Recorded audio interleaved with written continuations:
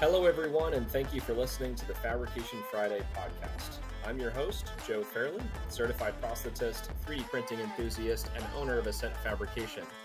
Fabrication Friday is an all around fun time where I talk about 3D printing applications, conduct interviews with industry leaders, and much more. Come join us every Friday for an informational discussion around the evolution of the additive manufacturing field and how we utilize various digital workflows and 3D printing methods in our daily work at Ascent Fabrication. Everyone, and welcome back to the Fabrication Friday podcast. I'm your host, Joe Fairley. Um, we've been on a little bit of a hiatus over the last uh, two, three months. Um, but happy new year, maybe a belated happy new year. But thank you for coming back and listening to the Fabrication Friday podcast. Um, very happy to have you. Um, if you're new to the show, uh, go back a few episodes and uh, really catch back up on some of the other uh, exciting guests that we've brought on the show. Um, so, you know, this year we're really focusing on um, bringing in some new guests, and we want to hear from some of our uh, listeners to see, you know, what would you want to hear about from the 3D printing industry? Um, you know, are you looking to start your own 3D printing business? Are you already involved pretty heavily in the 3D printing industry? And is there something that, you know, at Ascent Fabrication here that we could help you out with to help you grow your business or just offer some uh, tips and suggestions for materials, for printers, um, for software, uh, whether it's slicer software, CAD design software, um, or just general, you know, how to get started and kind of finding your niche. Um, you know, that's going to be kind of the theme here of this episode, you know, finding your niche within 3D printing um, for people who are interested in getting into the 3D printing space um, or already might have already uh, started their own small uh, side business. So I'm pretty excited to have Mr. Alex Parton from Parton Prints on today. Um, so let's go ahead and listen in on that podcast. Well, hello, everyone. Uh, welcome back to the Fabrication Friday podcast. Um, today, I have a, a, pretty esteemed guest, someone that I've been following for um, probably the better half of about six months now. Um, and it came about where I was actually looking to uh, bring in some other 3D printing filament uh, into Ascent Fabrication. Um, and Alex Parton from Parton Prints here. Alex, thank you very much for coming on the show today. Uh, looking forward to hearing about Parton Prints and uh, kind of what you guys have going on over there. Thanks, Joe. Appreciate it. Glad to be here.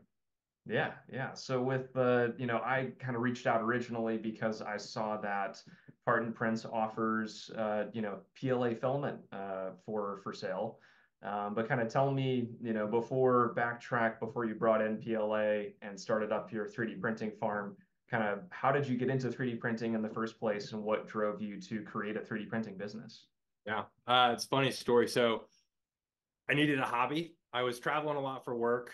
Um, I, I did try, I, I'm in sales recruiting on a, for a full-time perspective, but I was traveling a lot for work and I wanted something that wasn't video games uh, to be a hobby, something that I could create and we've all been there, right? Like creating something is really kind of, a, I think it's a driving factor for a lot of people. And I thought, okay, cool. What I have a background in management information systems. So I was like, what can I combine with that and then make a hobby out of it? But I'm not really a tinkerer per se. Like I like the technology. So I was like, okay, 3D printing looks cool. So I'll, I'll, I'll get into that. Right. And so when I started 3D printing, that was what almost like six years ago, 2018 at this point. And um, yeah, it, it was to, I had a CR10, so what we started with. I wanted to print big. I thought if I if I I didn't want to be able to tell no, right? So if you're printing a helmet or something like that when it comes to to like your cosplay stuff, and I wasn't a cosplayer either. I just thought it'd be cool to have a whatever the cosplay helmet would be at the time. Sure. And uh, so I was like, okay, cool, we'll get into it. So I started printing stuff.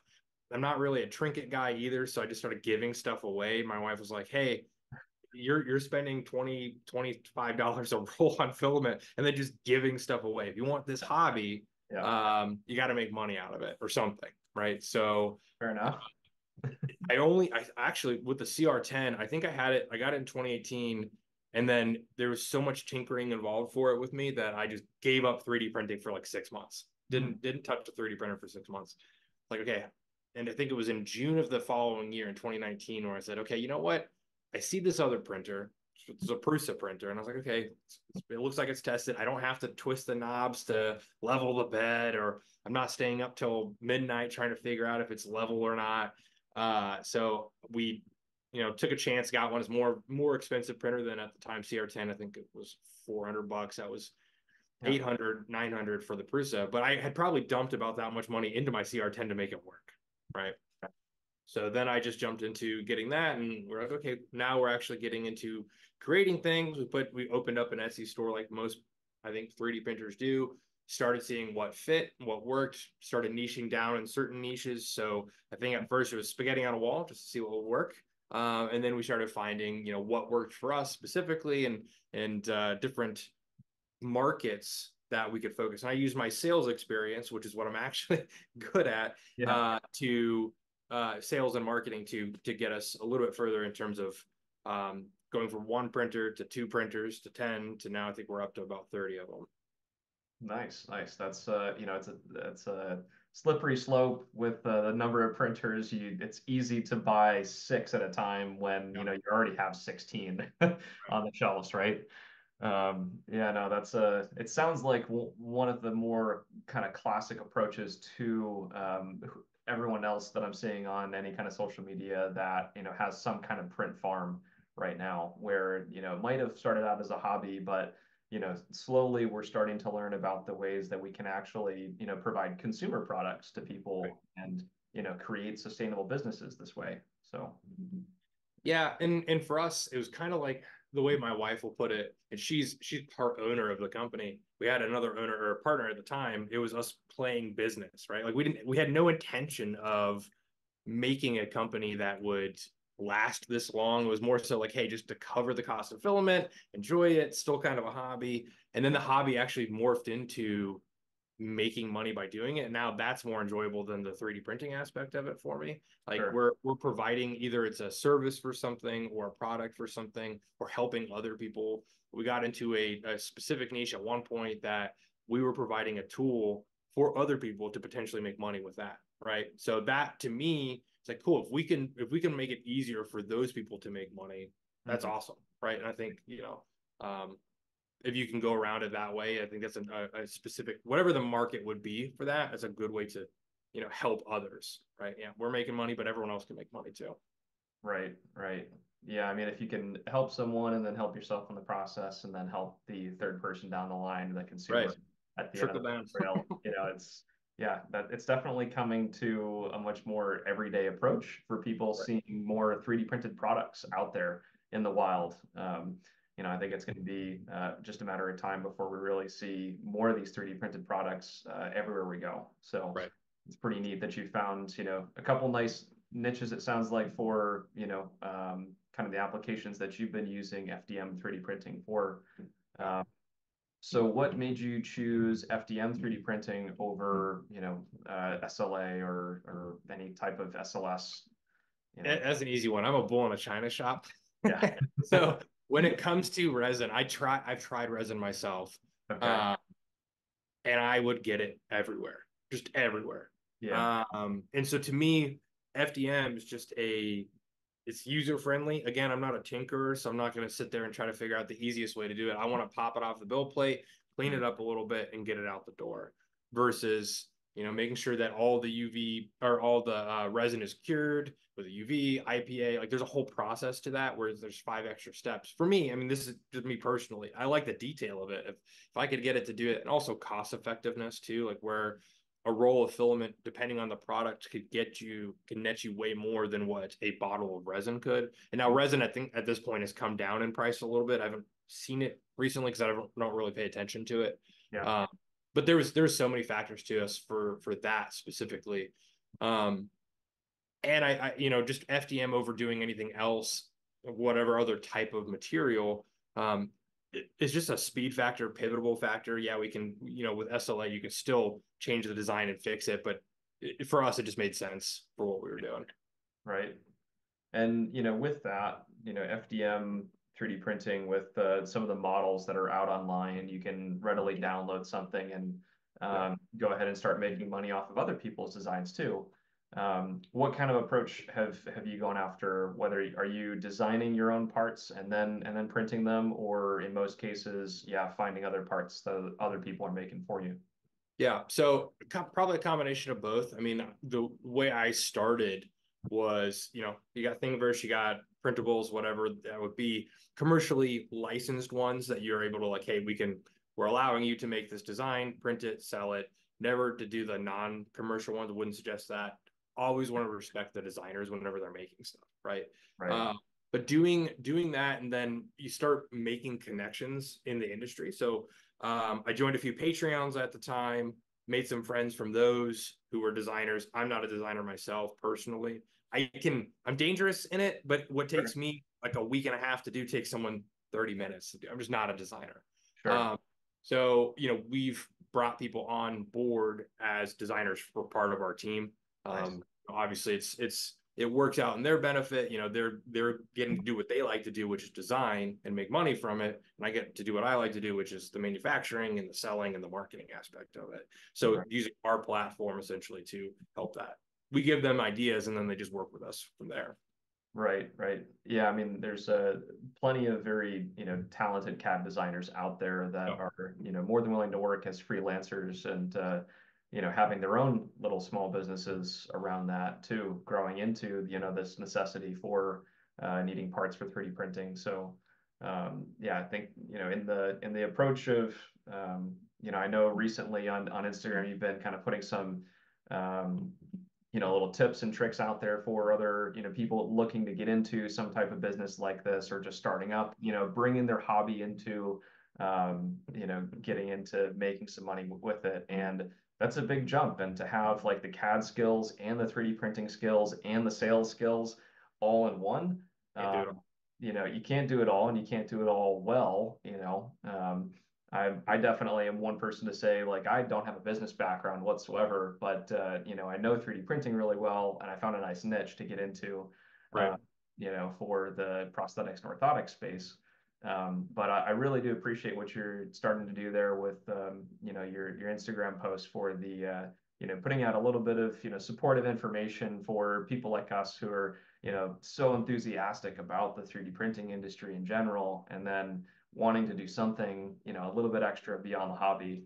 Um, you know, I think that's that's uh, that guidance is really needed right now in the field.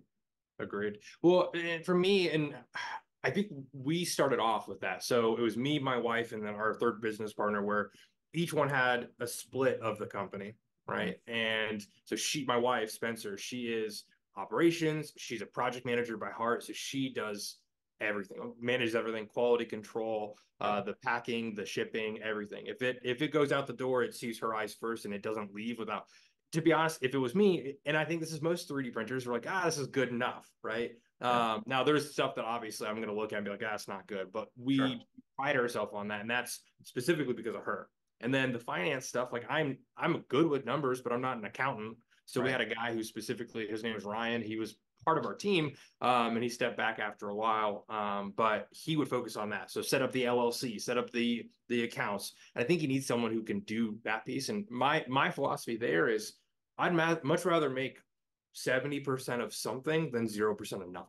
Right. Mm-hmm. Um, I don't need to do it all. And if I do it all, I'm going to burn myself out. That's why right. we've, we've started reaching out to designers and working with them specifically to focus on stuff that I'm not good at. Um, you know, with the accounting stuff, we eventually got an accountant to specifically focus on that too. So that's what I mean. I, I always say delegation is going to be the key to being successful. You're not going to be, you only have so many hours in the week. And even as an entrepreneur, as you know, like if you you're going to be giving 80 hours a week versus working 40 hours a week for somebody else, right? Um, you need to you need to be focusing on what your strengths are versus trying to do it all.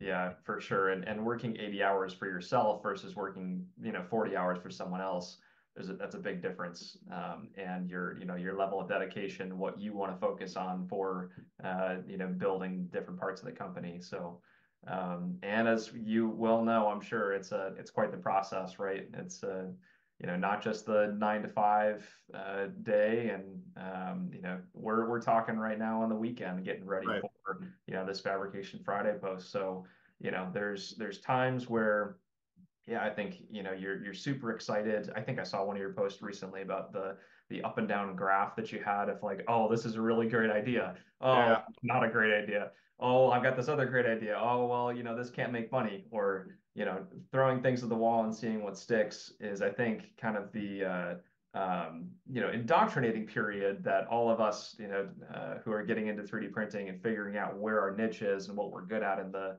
in this part of the industry is almost you know what we have to go through in order to find something great that you know we can 3D print and offer a good product for people. So absolutely, yeah. I mean, and I feel like that's no different from most businesses. But yeah, I mean, if if I if I can tell you like what my feelings are throughout the week, it is definitely up and down on what or seasonal, right? I mean, like yeah, uh, for most for most people who are in e-commerce at all, your October, November, December are going to be your big months, right? And so if you are doing okay throughout the year, fantastic. But like last year, for example, I think for most people, 2023 was a, was a rough year. So that up and down was a lot more than normal. So you're like, oh man, I'm really banking on on Q4 to be to be that year. And that's I mean, when when it comes down to B2C specifically, that's that's gonna be a big big piece of it. I think that you got to really be prepared to for disappointment, but how you're gonna get past that that disappointment, have that failure, like what are you gonna do? And the nice thing mm-hmm. about 3D printing versus you know, I, people who drop ship or people who make a specific product and then try to sell it is that you can pivot. That part didn't work specifically, change it a little bit, and then now you're doing something completely different. Maybe it's for a whole different niche that you didn't even know existed. Right, right. Yeah, I mean, you, you make a good point with the uh, the ebbs and flows over the months of you know kind of what products you're offering and who that's best suited to, what kind of audience. Um, so like I'm more so in the the B2B side of things uh, for the most part, but last year I kind of dabbled in the B2C, uh, trying to find you know some consumer products because um, you know we do some other prototyping services, you know general prototyping um, and and CAD design, um, and we found. Uh, you know, we found the Etsy side of things to be a little, uh, a little daunting, honestly. When you first look at Etsy and you're like, there's 40,000 different 3D printing people that are just putting stuff out there all day long. Um, Dragons. Um, you know, yeah. How do you compete with uh, you know the same type of prints going out there all the time? Um, I think with that, you you gotta you gotta take a step back and be like, okay, yes, I am 3D printing. Yeah. what am I doing? Right? Am I in the video game niche? Right? Am I focusing on that? Is it is it focusing on keychains. I'm going to be the best keychain maker ever. I'm just throwing that out there as an example. But. The the medium, yes, is 3D printing, but the end result, and maybe it's keychains for teachers, right? So you have sayings that are specifically on that. You're targeting teachers in that niche, and maybe it's not even just teachers; it's fourth grade teachers getting in the sub niche, right? Mm-hmm. So that market obviously is going to be pretty small in comparison to a much broader thing. But you're not competing against 3D printers; you're competing against other people who are making that specific product right? Mm-hmm. So if if everyone and, and and 3D printing has just become more accessible for everybody at this point, that you can buy a Bambu Lab, you know, A1 whenever they're back out on stock. So we'll say the A1 Mini for 300 bucks, right? And you can make keychains, but if you're just putting up dragons or eggs or whatever, you're competing with people who are making 3D printed project products, right? So I think the mindset there is focusing on that those niches or those products specifically and then being okay how do i how do i make stuff around that? And it just so happens that it's 3d printed. It's kind of mm-hmm. like someone who has a laser engraver. Like it just so happens it's made in wood but i'm laser engraving. I'm not talking about the process of laser engraving whenever i'm actually selling the product. I want to see the result. If i'm buying a car i don't care how it's made. I want it i want right. the miles per gallon. I want um, to know if there's a leather interior like all that stuff. That's what i'm looking for versus yeah. the actual process. Unless i'm assuming like a uh, an electric car. Those are a little, a little cooler to, I'm assuming the processes to make, but, but, you, but you get the point. I mean, it's, it's focusing on specifically the product itself. Right. So can you talk about some of the products that uh, that you guys put out at Parton Prints and um, kind of what you've seen do really well or just be really interesting and and finding those niches? Yeah. So I mean, I would say we've we've focused on the, the main things that we focused on just because it, it becomes more about what you're interested in too i think so like video games big under that we combine our laser and 3d printing to make stuff that is accessible for people who like video games, headphone holders, um, controller holders, just as an example. A lot of personalized stuff. That's what we use the laser for, right? Yeah. If you go on our website, you can see all this. So there's nothing that to essentially hide there. We everything we do is is upfront and and in your face when it comes to it. Um, but personalized items, I mean, I think just in general, those are going to be the, the key seller for anybody, right? And you can find ones again that are more personalized where it's kind of a combination of a specific niche and we'll just use fourth grade teachers again, right? Fourth grade teachers, and then personalizing that specific product for it.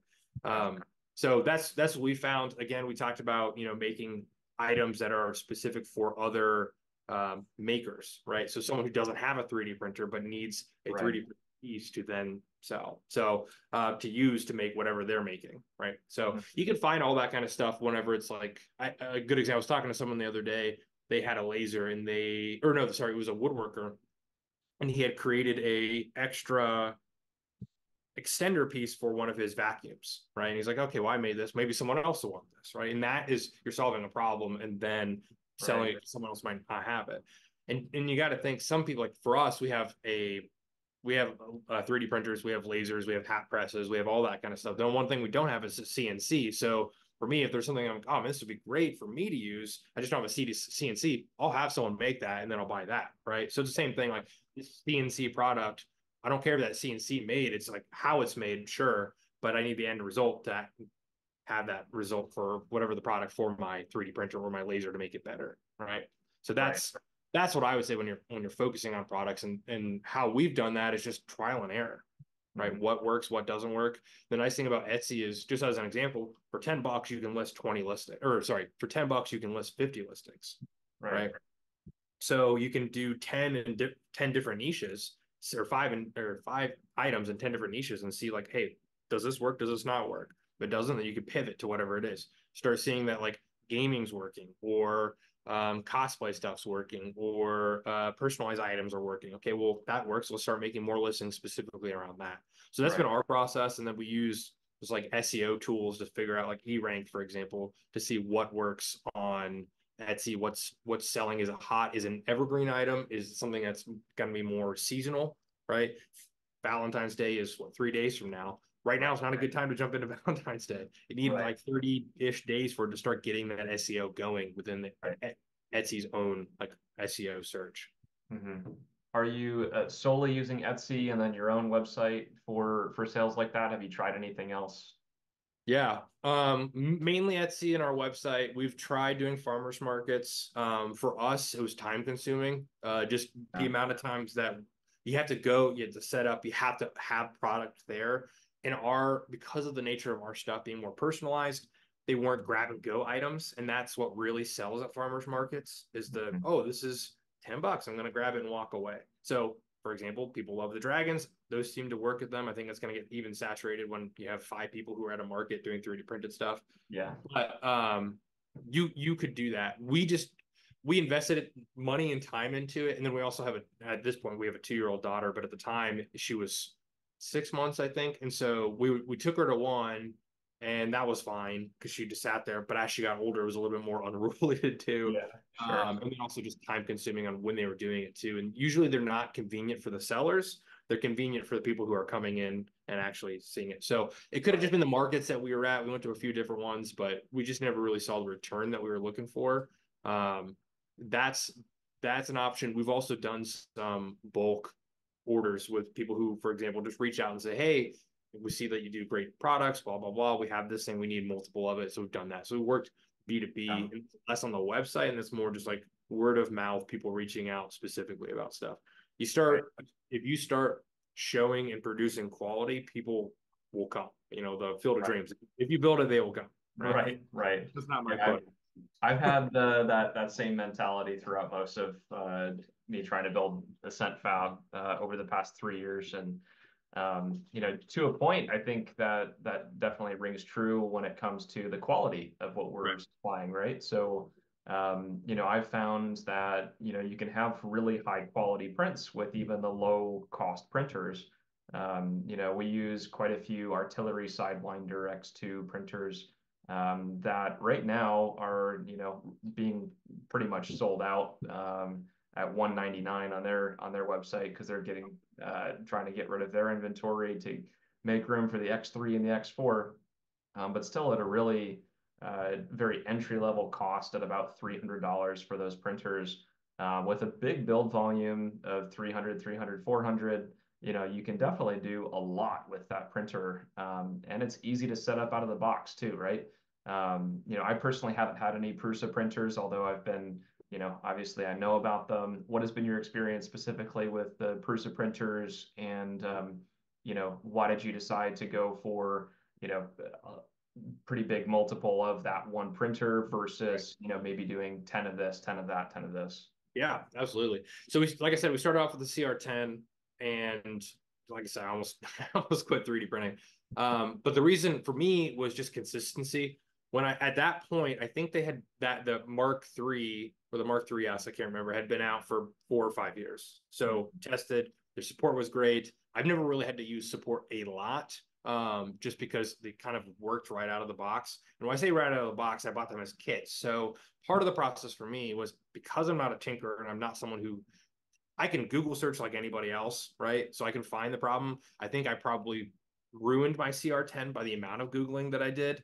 Um, and so the, night, the nice thing about Prusa was they had everything, all their FAQs, all their knowledge based stuff right in one spot. I was able to solve problems pretty easily if they did they did come up, but I knew where things went because I I pieced it together, right? So um, when that happened, the quality of print from what I had with my Prusa to my CR10, because we had them at the same time, was just night and day for me. And I wasn't having to wake up at one o'clock in the morning and, and oh wow, this this failed after seven hours, right? Yeah. Um, so the the auto leveling was was crucial for me. Mm-hmm. Then at that point, we actually we I've used Anycubic. At one point, Anycubic reached out for us to to use some of their printers. So I had a couple of theirs.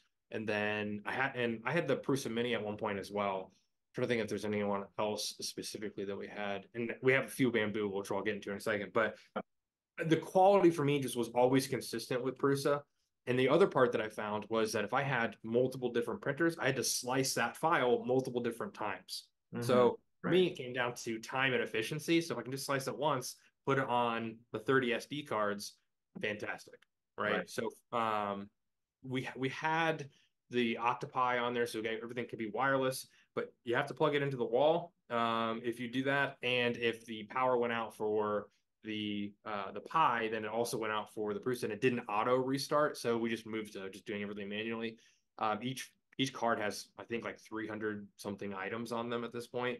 Mm-hmm. Um, so it just made it easier just to do that. And we the I would highly suggest if you do have multiple and you're using SD cards, get an SD card copy reader and then just put one in there and just copy it. You know, I was doing at one point just updating every single card and that just got manually yeah. like time consuming.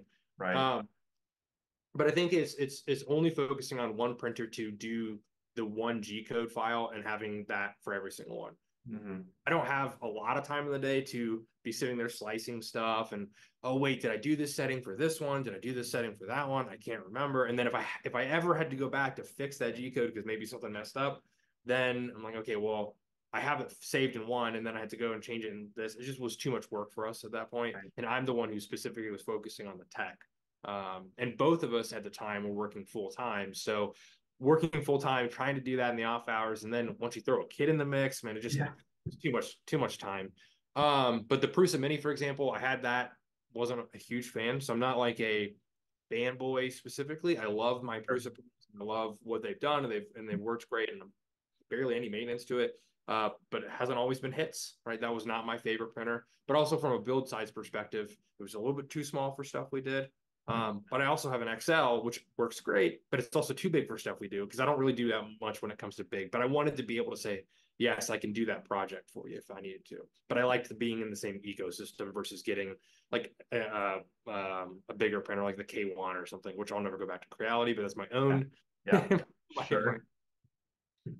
Yeah, you're a little uh, a little jaded after your CR10 experience. They're gonna come after me. There's gonna be people who are gonna comment on this. oh go, man, yeah. Well, but, I mean that's that's the thing though. It's like if you if you are the tinker, if you really want to dive deep into how that printer is working, and eh, you could get almost any printer running fairly well for right. what you want to do your application, right?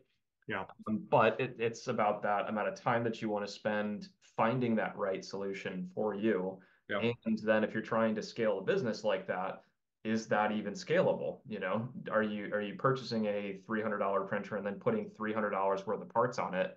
Exactly. And not just buy like an $800 printer that you don't have to do anything to, right?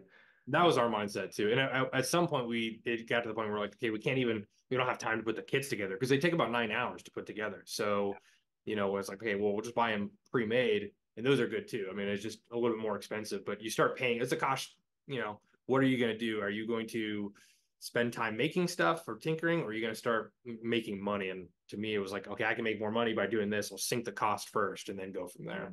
Mm-hmm.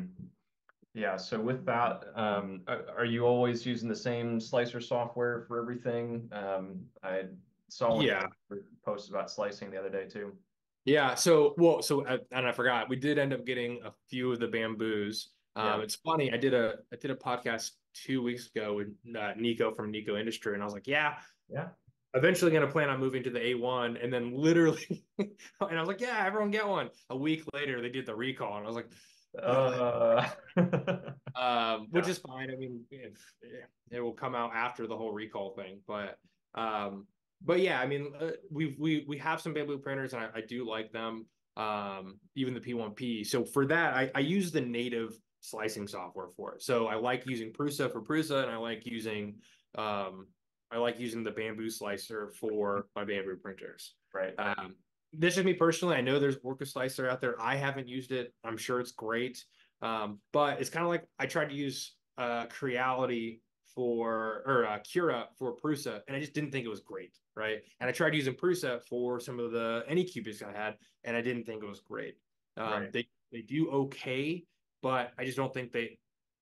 It's it's kind of like if someone was making a product for somebody else's product, like this is good enough, and that's what it felt like right. from both sides of that. Right. Um, where you know Cura is definitely leans more towards like Creality and Anycubic and stuff like that. I feel like, and then mm-hmm. for me, it was the Prusa. Just I can use stock settings for the most part, minus changing a few yeah. things, and it works great. For sure. You, now, are you using? And I don't, I haven't seen your farm or anything like that. Are you using desktop 3D printers? Yes, yeah. So the uh, the desktop printers that we have currently, we've got three Artillery Sidewinder X2s. Right. Okay. Um, we've got an FLSun Super Racer. Okay. And that's now over three years old, and uh, yeah, haven't really had to change much on it. Yeah, um, that makes it so much better. Makes printing yeah. enjoyable. What's that? That it makes printing enjoyable, right? Oh, when exactly. You're, it's like, okay, cool, I can hit print and go. Yeah, yeah, yeah. We uh so right now the FLSun actually is just our logo coaster maker. Um, yeah. Just print like two or three logo coasters um, of our own to give away with uh, our other products, um, and that's what it's going on all day long. Um, so it's a it's actually not a direct drive. It's a it's a Bowden drive system, um, but it can print flexibles pretty well actually. Uh, with the um, I forget exactly what extruder it is from CME CNC. I think the the easy extruder or something like that. But it does a really nice job with flexibles. Um, so we print um, quite a bit of TPU on it. Have had some good success there. You know the the Delta style. So it, for some of my uh, experience with printing, I wanted to also you know not have to say no to people. Uh, when they came to me with you know being a brand new business and wanting to be able to appease the masses of okay you've got a lot of great ideas let's see what actually fits uh, within our business plan and what we can offer, you know, as a good product to people. So um, I, I took the route of not getting 30 of the same printer yet, um, but having actually nine different printers currently um, yeah. Of all shapes and sizes so that I can offer a huge variety um, from, you know, the little trinkets like, uh, you know, I've got, I printed this uh, latch for my watch. Um, oh, nice you know, because it had broke. So it's just a TPU, um, you know, latch. And um, something as small as that up to as big as um, uh, actually like a human torso, right? We're printing um, thoracic, lumbar, sacral orthoses that are TLSOs. Yeah, really big uh, parts. You know, we could be printing um, even longer parts as well. So I have a black belt 3D printer. Have you heard of the black belt yet? I have not heard of that one though. Oh, you're gonna want a black belt after this conversation now. I'll look into it for sure. So full disclosure, uh, actually black belt. Ah, there you go. I'm I'm the North American distributor of the black belt printer. Uh, so the black belt is a is an it's an industrial conveyor belt printer. Um, but basically you've got 340 by 340 by infinity. So oh. you can just you can just print continuously, whether you're printing part after part after part, or you're printing um, some really long extrusion profile. So uh, like the other day, I printed an eight foot long uh, part out of VarioShore from colorFabb TPU. Um, so this part just you know kept on growing and uh, goes off onto the the roller table after the uh, the end of the printer, and uh, yeah, could print some That's really big That's components. So cool. Oh yeah, yeah. I'll, we'll uh, chat about that a little bit more after the, after the call, but you know, getting into real production style uh, printing too is something that I've been interested to get into. You know, how could we, you know, utilize these FDM 3D printers for more definitive parts that it's not just prototyping anymore. Yeah. Um, you know, you've got patient end use components. You have um, parts that are actually going on to um, whether it's a, you know, watercraft or aircraft or something like that. Um, and you're using these, you know, machines to be able to produce these objects at scale. So, um, you know, the black belt was a really interesting concept to me, and I liked it so much. I partnered with Black Belt to bring it to the U.S. and um, the Americas here. Um, so they're based out of Belgium. Um, a really great uh, couple uh, by the name of Peter and Iris uh, that actually own um, OMD 3D. Uh, they're another 3D printing service contractor um, and offer a couple different printers for resale out of Belgium. Um, and they have the rights to black belt. So, um, you know, that they've been great to work with. And uh, it's really neat learning how to print on an angle. Um, you know, we're printing at a 45 degree angle, right? Yeah.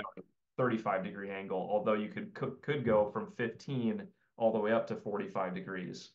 Um, so we're having to use less support material um, overall because you can kind of orient the part slightly differently and it can print 90 degree overhangs fairly well um, with the right printing properties and maybe a couple iterations of those settings. But um, so I've dived really, really deep into what different printers could I offer for people and then uh, the print settings as well. I've I've gone down every rabbit hole you could possibly go down to make sure that like you said, each printer fits with a specific slicer a little bit differently. Yeah, I agree. Yeah. Interestingly enough. So we use Prusa Slicer for the most part for um, all of the filament innovations printers, the high flow printers that we have. Um, PVA Med here as well, um, a local company to me actually up upstate New York here. Um, the artillery sidewinders um, I have a Raise 3D Pro 3 Plus as well because I wanted to be able to offer um, some, you know, parts that needed support material and a lot of it. Um, dual extrusion and Idea Maker, you know, from Raise 3D works really well for their printers. Um, but I'd agree with you that like, you know, the, the slicers are set up well for those companies that have developed those slicers for that software, for that printer. Um, and then it sort of kind of works you know okay for some other printers but it depends on their operating system too whether it's marlin reprap um, or anything else so right. you know, Klipper a whole new beast um, so yeah on that side of things we've kind of you know ventured into the let's offer a lot of wide wide variety uh, in size of things that we can print um, with implementing some of the same ideas and concepts you had too. Right. And I, th- I think that's smart. I mean, like every every company is going to have different end results of what they're looking to do, right? For us, it was like, yeah, we wanted to do different sizes, but at the same time, we wanted to just be able to pump stuff out as fast as possible, right? Sounds like with with your guys' stuff, it's prototyping, it's it's offering the different sizes, the different materials. We stick with PLA just because it's super easy. It's uh, makes it so much faster for us to get stuff out the door. Um, I don't have to worry about changing the temperature or settings or anything like that. Um, but th- this is a good example of how you could have two different 3D printing companies doing mm-hmm. different things completely and right. still be successful, right? Right. Yeah, for sure. And and like I said at the beginning of this, you know, I I started printing a little bit more in PLA um, at the at the end of last year because we were making some pretty neat um, prosthetic covers where I wanted to add in some color and some pizzazz and um, so I, I was looking around, always looking around for you know better better PLA that that's not brittle that you know just works every single time. Um, and I'll be honest, you know the stuff that you guys have and, and offer is uh, you know was working out really great. It still is working out great. Um, can you tell me a little bit more about you know why you decided to bring PLA into your offerings for what you wanted to resell? Yeah, well, for us, I mean, we wanted there's a couple options for this. So, or a couple ideas behind it. One, we were buying filament off of Amazon, like most people, right? You start off buying it from Amazon, buying it from Micro Center right down the road. We weren't seeing consistency in certain colors. Like we'd buy 20 boxes of specifically more in white because we were doing a lot of white printing at one point. Okay. Uh, that we'd, you know, do one and then we'd switch over because the run out of filament and then it would be a different shade of white right? And this is going to happen with any 3D printing filament just in general, when it, especially in white. Um, but we were seeing it in other colors too. So we wanted it, the consistency. And if we were going to do that, we wanted to make sure that we were, we, I couldn't send something that had different shades of white out to somebody. Right. right. Um, so that was one thing. Um, we also, I mean, cost is going to be a big thing. We wanted to bring down the cost for us. And if that saves us a few dollars here and there, then perfect. We'll do that. We can also start reselling it if possible, if anyone wanted it.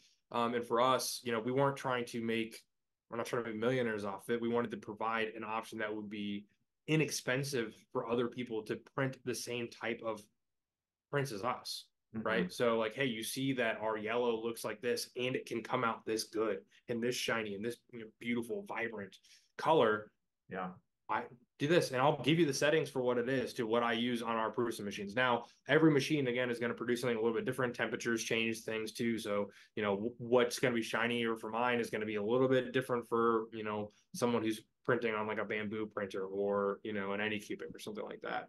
Um, but generally speaking, I mean, uh, it's been consistent. I've had multiple people who have bought it who have different types of printers than us and they get the same type of results and they're loving it right? And if they want to we wanted people to be able to make vibrant colored prints and especially if you're doing multicolored prints they just they show so beautifully. Right. Um that was our end result. I mean again it was just something to try to make it easier for for other people as well as for us. I mean if, if i'm going to speak a little selfishly there right? Um easier for us to have more filament on hand.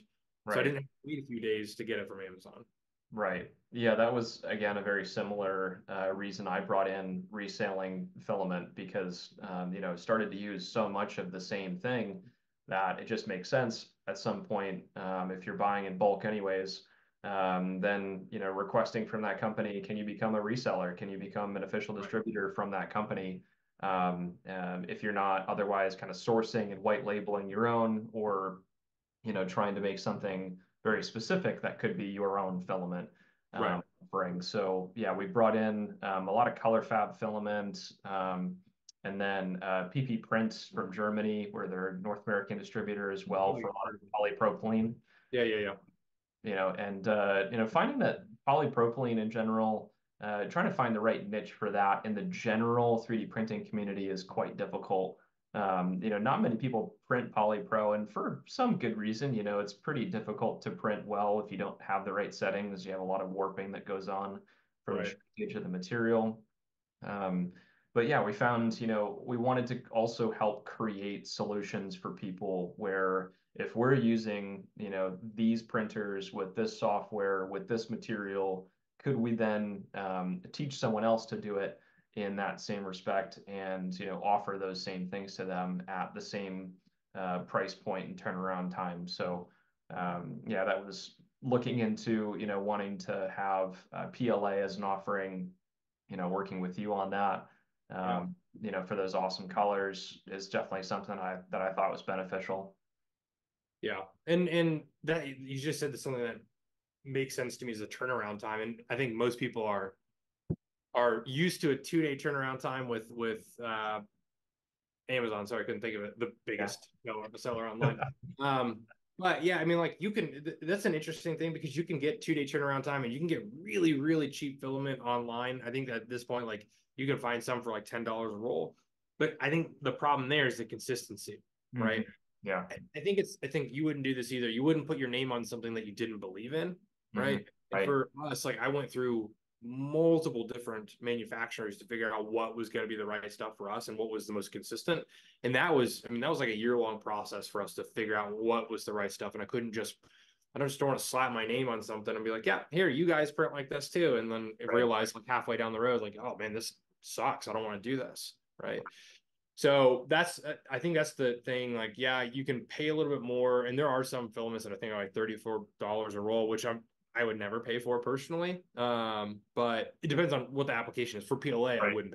If it's something Right. that's like, a, you know, more specific, you know, stuff like you were talking about, maybe depending on what the application would be and what my return would be on it. But I Mhm. think that you know, sixteen to nineteen dollars a roll for quality filament is is that sweet spot, right? For Mhm. most PLAs. Um, but you still find some online that are going to be more expensive than that too. Right, for sure. Yeah, I mean it's it's a it's a matter of consistency, absolutely, of finding the right, you know, you can buy cheaper filament out there. Um, but you know, for the reasons that you and I have tried to pin down, you know, one specific filament, it's like if you've had other printing problems because the filament color isn't consistent over time, if the diameter of, of the filament isn't consistent over time, that's killed us. Right. Uh, if the filament consistently comes in like uh, you know crazy saturated with water.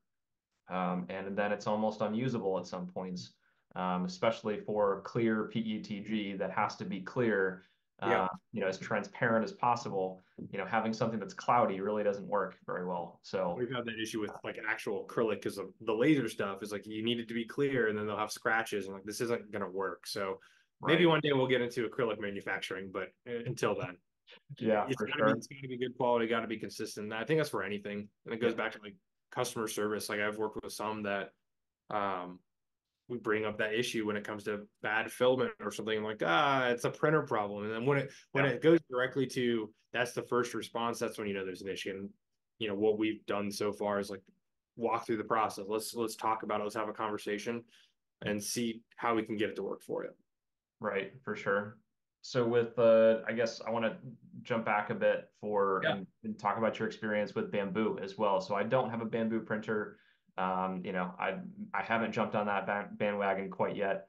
Um, but again, for good some good reason, you know, we like to print big here at Ascent Yeah. Shop. So um, the the build volume is a little uh, constricting for us. But what is your what has been your experience with Bambu? Well, funny enough, it's just a little bit bigger from a build volume than a Prusa machine. So, Yeah. um, you know, I would say it's there. I think there's on both sides of, and I, I'm I'm saying both sides by Prusa and Bambu because there's usually that's the contention point right now. Both printers are good printers. My my things with Bambu, like I, they're not flawless. I've had flaws with them, um, and uh, you know, I, I would say the quality is great. The speed is what I really love about it. Right Mhm. if I can do a print in half the time and same quality, I mean, it's a no brainer for any business, right? Like, why would I do anything else? And that's why I, always say I'm like, I'm not a Prusa fanboy. I appreciate the machine. It's been a workhorse and it's done what I needed to do for the past five years. And I will continue using those machines until I absolutely can't use them anymore. But I can, I can modify them. The issue that I have with, with Bambu is I don't know from longevity how maintenance is going to be. Like, how easy is it going to be to fix stuff? And again, I told you I'm not a tinkerer, right? Yeah.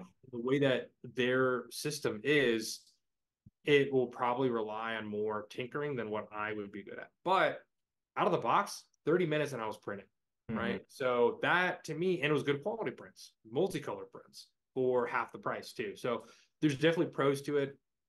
I think it'll be long term for me to be like, yeah, I'm switching my whole farm over to that, right? Yeah. Um, and it just so happens the day that I, or two weeks or a month after I say, yeah, I'm going to start adding more to my farm, that's when they do the recall. So the positive there is that they recognize what was going on. They're giving a, uh, are you familiar with happening with the recall? No, no, I didn't didn't hear that. Oh, okay. Which So they- specifically was it, and what's what's going on? Yeah, sorry, I, I should have been more clear. It's the Okay. A1. It's the newest one that just came out, right? Okay. So there's a little issue with the heat bed, and I guess it depends on how you put the printer together. If you Mhm. Didn't listen to the instructions and put it on the wire, it would kink the wire a little bit, and because of that, it's causing some of the heat beds to catch on fire, right? Okay. Yeah. Um, which is pretty significant. Yep. Definitely. Um, initially they came out and said, hey, if you don't have this issue, you can print this little clip thing to it and it will solve the problem for the most part. Then they came back and said, yeah, we need everyone to stop using their printers. So okay. I think if you update your printer as of today, it'll stop you from using the printer. I'm not using it. I don't really need to use them. They're more for fast prototyping. So yeah. there's two options for that. You can, if you bought it from Bambu or from Micro Center, you can return it. They'll give you a free refund and then $80 worth of credit for the Bambu products. The alternative is you sign up and they give you, you keep the printer, you do a um, manual swap of the heat bed, and you have to actually go through and, and and fix the, the print bed, and then they'll give you a hundred dollar, hundred and twenty dollar credit for the printer itself. So, or for Bambus. Um, and I'll, and while I'm not a tinker, I know how to do things. And I can follow instructions, and it looked relatively simple. So I'll probably just go that route rather than returning. I already threw my boxes away. Yeah, they're yeah. big on the boxes, so um, I bought mine from Micro Center. So I'm I'm just gonna do that, but that's that's the only downside but they've, they've solved that problem within as soon as they found out i think it was like two weeks of them like doing research and i think it's only 0.1% of printers that are actually having the issue. But if you're going to do total recall. I think for them from a pr perspective it looks really good. Yeah makes sense. I don't i haven't had to deal with their support. I'm not really sure. That's another issue that i've seen people with just in forums and, and facebook but like prusa support down like hands down some of the best support i've ever had. Yeah. Uh, time will tell with Bambu. Right. That that's my thing, and that's why I don't want to. I'm not going to put my stamp of approval on it necessarily, but I'll say, you know, if the printer is working, it's working great, and I love that part of it. Mm. Yeah, well, with anything new too, you know, there's going to be some kinks up and down um, along the road of them, you know, yeah. uh, putting out a new printer and um, with some of the print times that they're boasting, and then the multicolor approach too. You know, it's kind of still uh, a pretty newer way of printing. So I'm sure there's bound to be a couple, you know, road bumps in, along the way. Exactly. But um, well, and, and they had the P1P, the the X1 Carbon. They've had those out for a while. Yeah. The P1S, and they released the the A1 Mini, and I just pushed off. I think I just waited until I got one that looked like one of my Prusa machines, so yeah. I could have in the farm and just essentially make it generally look the same, and it takes up about the same amount of space. Yeah. And that is it's funny that I waited about three years, and the moment I wait is when they something like that happens. But I feel like if it was some other printing companies that I've worked with before, that that would not have been the result of a recall and the credit like that. I feel like went above and beyond in my opinion. Sure, sure. Yeah, I mean, it sounds like they're doing the right thing and recalling that printer and making sure that it, you know, doesn't pose a safety threat to anybody. So that's that's always a good thing. Uh, Absolutely, you know, especially because it print and walk away. So it, well, yeah, yeah. I mean, do you have any uh, cameras on your printers? You know, I can if you can see which way am I pointing here. this guy here, I have a camera on almost every printer uh, that I have, and up in the corner here on that guy. Um, so that I can at least when I'm home, which is only about seven minute drive down the road right now, you know, I can look in, see if something's going wrong, you know, because sometimes my prints are like up to 60 hours. Yeah. Uh, so yeah. Um, no, I don't. The the Bambus have them built in, but they're not great in my opinion, especially where the A1 is located because it's a bed slinger. You can't see the print if it's moving. Um, for the Prusas, I I mean I could, but it, it, would be good if I had. I needed to get the the the wireless Pi and plug it in, and then do the link, and then I can do that. Okay. Um, because they're not wireless, I just it wouldn't even matter. I could have a camera, but I had to do a whole different rig to essentially set up a wireless thing. And it's I haven't had an issue. We've been in this space for about three years at this point. Yeah. haven't had too much of an issue. Of course, you're gonna have the occasional, you know, blob or something that's gonna happen. It's any printer. I posted a video and it just happens to be one of my most popular videos um, where I have blob and they're like, ah, it's because it's a Prusa printer. I'm like, this could happen to literally any printer. So I don't yeah. know why that's the case. It was my fault for either not cleaning the bed or something happened, right? Um, right. From yeah. um, but no, I mean we haven't really had the need to do that for the most sure. part. Um, so yeah. Yeah, yeah, just uh, some type of you know print monitoring. If you're around the prints all the time, if you have shorter prints going on, then it's it might right. not be needed um, you know, for some of the longer prints we have going on, it's nice to be able to see, okay, just checking in before I actually go to sleep tonight. Is this okay? Otherwise, I'm running down, you know, trying to fix something before something breaks. But um, no, just that, a- I mean, that would be that would be beneficial to to save me from that. I think I think a lot of times people are like, oh, I need to stop stop the print so I can start it again, or I don't want to waste any more film. And generally speaking, depending on where it's at, right? You're not wasting if it's near the top or 90% done, I'm like, well, I'm I'll just start it tomorrow. Like it it's it'll fail, but I'll I'll fix it tomorrow. Right, right. Yeah, there's some cases where you you know a print is going to fail, and it's like, okay, well, let's go see if it's within quality standards. If it's definitely not, then it's out the door, or whatever. Um, on that side of things, another interesting uh, thing that I've been thinking about recently is with some of these failed prints, right? Are you have you any, had any thoughts about trying to recycle uh, printed parts, and Yeah. what have you tried to come up with? Yeah. So um, for a while, we were keeping all of the filament in one spot. Like, hey, these all supports or failed or whatever. I was looking. There's a company that's actually based out of Georgia where we're we're at called Filastruder, and they uh, they have their own machine that you can essentially recycle and then make filament out of it. I needed more space for it, so I wasn't able to do that. I would look into it if it's if it's something you're interested in. Are they Um, out of Georgia? Yeah, File Filastruder. I think so. Okay. There's I, maybe there's either that one and there's another one. I was looking at two different companies. they uh, might have a couple different locations. I know I I'm pretty sure File Filastruder's out of Vermont. Um, but I could be wrong. They might have another location or something, but um, because Phyla it's Filabot. Maybe that's what I'm thinking of. That's the well, anyways, Filastruder, Filabot. I know there's at least one, you know, um, company, I believe out of Vermont, uh, that takes those, you know, prints, chews them up, and then you can start to extrude. Well, you can make pellets from that, and then you can have their other machine that ends up making those pellets into into filament too. Yeah. Um, there- There's a there was another company and I could have sworn they were in Georgia. Yeah, they're so Phil Struder, yeah, okay, uh, or Filastruder, however you want to say it. They're based out of Snellville, Georgia, so they're actually right down the street from us. okay. Um, but I Is it- thought I thought Was they it had. Phila, was it Filabot then that was out of? Yeah, uh, that's out of Vermont. Yeah, all right, so those are two different companies then. Gotcha. would be my guess. There's, Uh, there's only so many ways that you can put some type of 3D printing name into a, a company name that you're going after now. Um, Well, and that's why I tell people like when you're building your brand, I mean, build it around whatever you're doing, but don't necessarily put 3D in it or fill a. uh, We did FilaFi, that was our Yeah. our filament. But I- I feel like if you want to stick out and not be a 3D printing company, but you want to be whatever the product is, it's like Yeah. build your brand around the product, not around film like 3D Yeah. printing. Yeah, some people, you know, they don't care if it's 3D printed or injection molded or whatever. If it's a product that works and it's good and it looks good, then Yeah. it could be 3D printed or injection molded and people wouldn't care. Exactly.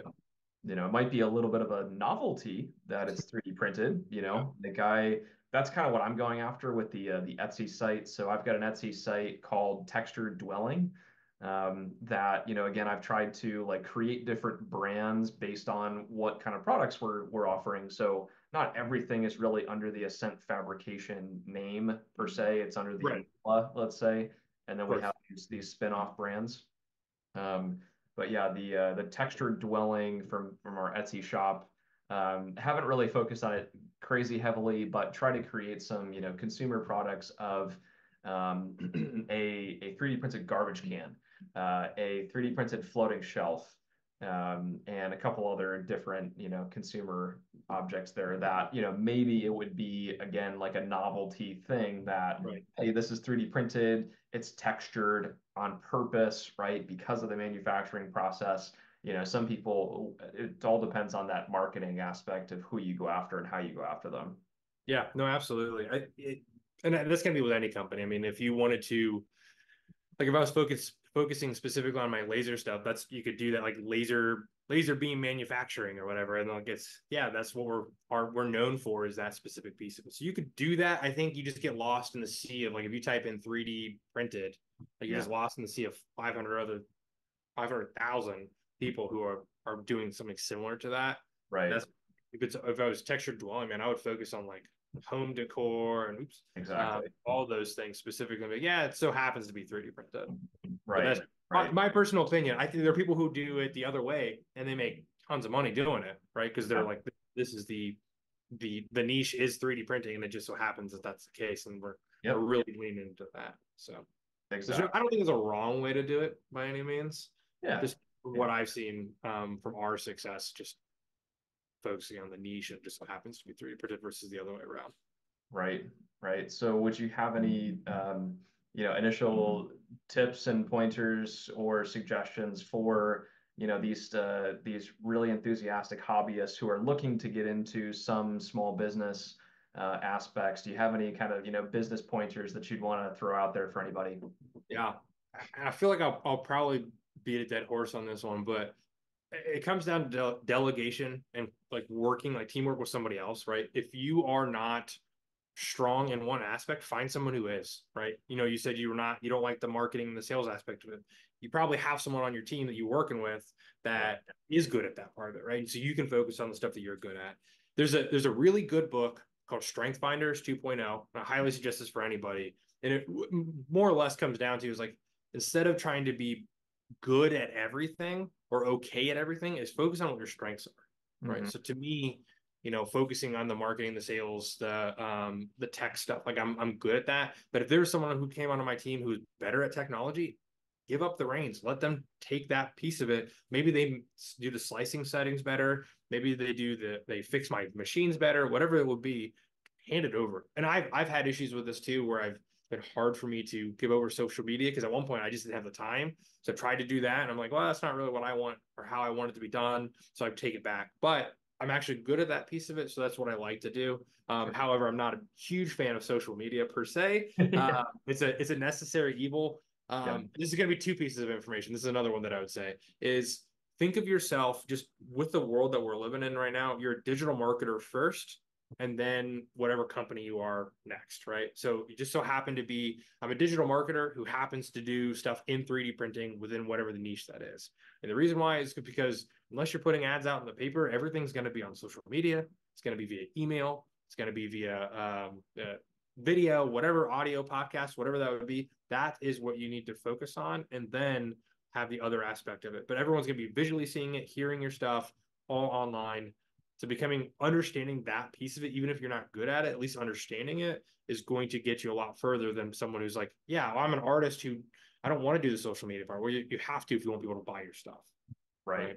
right? So. Yeah, I, I couldn't agree more. Honestly, I'm again, I'm not a huge, uh, even personal sharer of things on social media, um, but found it to be a necessary evil for you know the business, obviously, and because that's where uh, the consumers are at. You know, they're they're on social media day in day out. They're they're getting hammered with ads. They're you know because we still are. You know, we're part of that you know ecosystem as well. Right. Uh, obviously, so you know content creation is is a is an art form in itself to you know best highlight what the product is what your company does and how you best you know serve your customers and yeah. what type of customers are you trying to attract right um, so I've learned quite a bit over the last couple years about you know content creation and how to approach different kinds of customers, either business to business, business to, business to consumer, right?